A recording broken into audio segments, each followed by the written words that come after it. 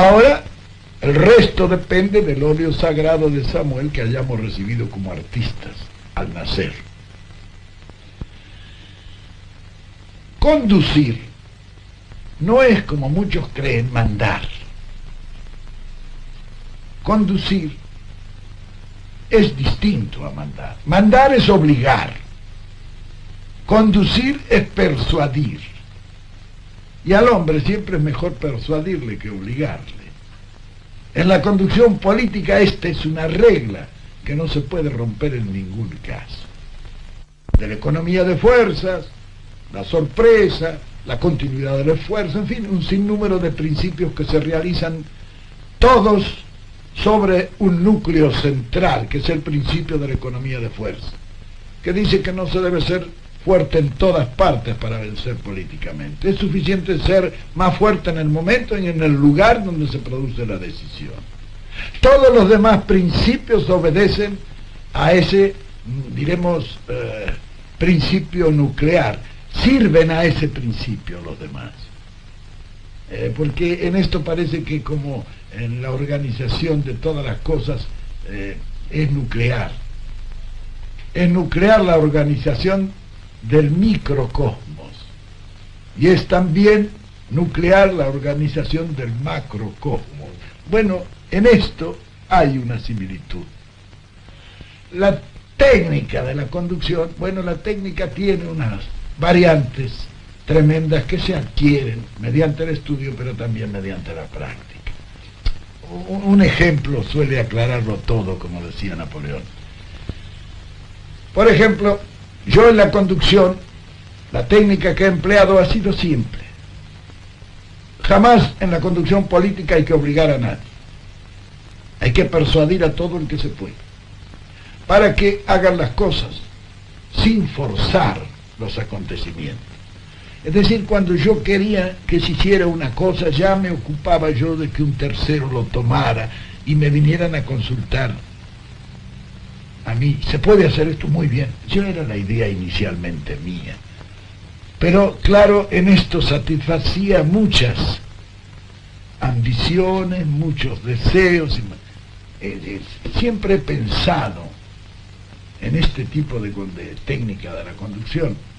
Yo digo siempre que si Dios bajara todos los días a la tierra a resolver el problema planteado entre los hombres, ya le habríamos perdido el respeto. Y no habría faltado un tonto que quisiera reemplazarlo a Dios, porque el hombre es así.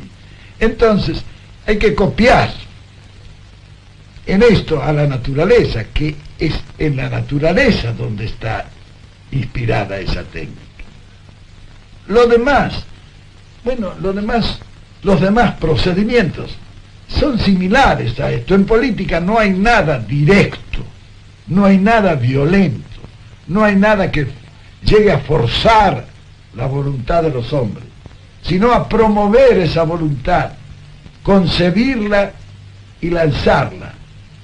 El, conductor político es un hombre que hace por reflejo lo que el pueblo quiere. Él recibe la inspiración del pueblo, él la ejecuta.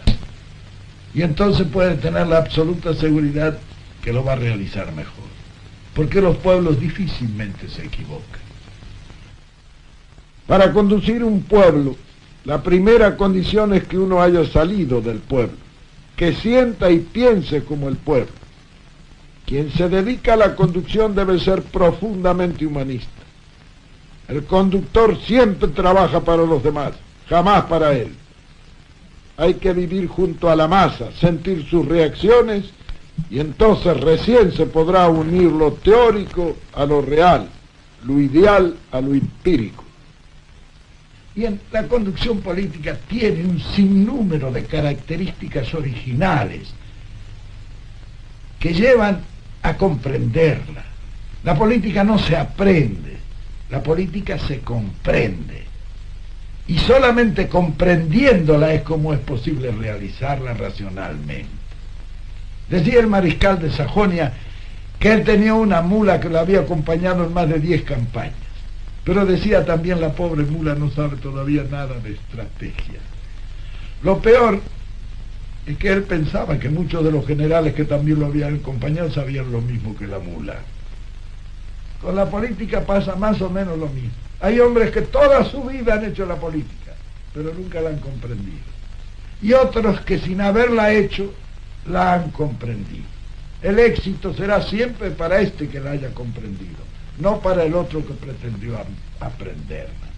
Porque la política es una sucesión de hechos concretos, en cada uno de los cuales las circunstancias varían diametralmente. Hay cosas que son semejantes, y que pueden dar inspiración, pero igual no hay nada. De manera que la experiencia está en comprender la política para ser más sabio en todas las ocasiones y no pretender aprenderla porque sabemos que la sucesión de hechos concretos y diferentes no dan enseñanza para ninguna ejecución en el futuro. Es decir, la juventud debe saber que para poder conducir han de prepararse en esto. En esto, la, conducción por amateurs no suele ser proficua en éxitos. Es necesario dominar este arte. El que quiera ser dirigente y no domine el arte de la conducción, y bueno, no va a llegar nunca lejos. Por eso es difícil encontrar hombres que sean capaces en la conducción porque esto no se aprende de otra manera que sometiéndose a una disciplina científica que dé los grandes conocimientos necesarios para abarcar el, panorama. Abarcarlo al panorama, es decir, es ver el panorama con una sensibilidad que es indispensable y una imaginación sin la cual no vale nada. Ver las cosas. Entonces, con sensibilidad e imaginación, ver, base para apreciar. Apreciar, base para resolver. Y resolver, base para actuar. El deber de vencer es indispensable en la conducción. Aquel conductor que no sienta el deber de vencer difícilmente va a vencer en cualquier acción. El que quiere conducir con éxito tiene que exponerse. El que quiere éxitos mediocres, que no se exponga nunca. Y si no quiere cometer ningún error, lo mejor es que nunca haga nada. Es decir, la juventud debe saber que para poder conducir han de prepararse en esto. En esto, la, la conducción por amateurs no suele ser proficua en éxitos. Es necesario dominar este arte. El que quiera ser dirigente y no domine el arte de la conducción, y bueno, no va a llegar nunca lejos. Por eso es difícil encontrar hombres que sean capaces en la conducción, porque esto no se aprende de otra manera que sometiéndose a una disciplina científica que dé los grandes conocimientos necesarios para abarcar el, el panorama. Abarcarlo al panorama es decir, es ver el panorama con una sensibilidad que es indispensable y una imaginación sin la cual no vale nada. Ver las cosas. Entonces, con sensibilidad e imaginación, ver, base para apreciar. Apreciar, base para resolver. Y resolver, base para actuar. Ese es el proceso.